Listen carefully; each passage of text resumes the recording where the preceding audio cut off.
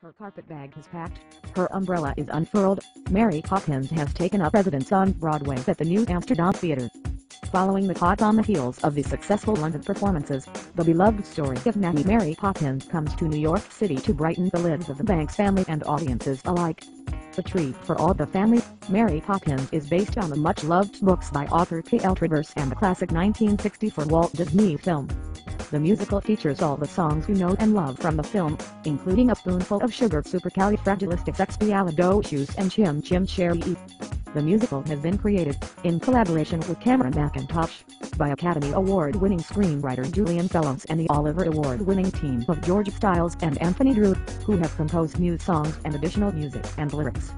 Take the family along to Mary Poppins, a perfect